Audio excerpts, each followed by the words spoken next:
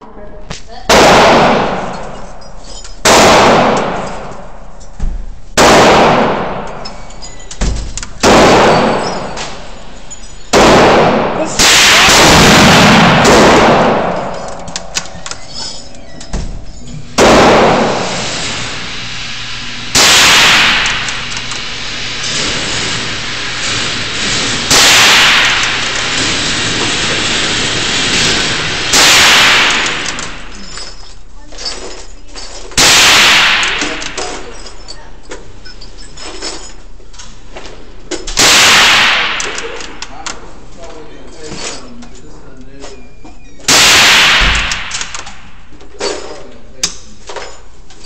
I'll be back in a little bit.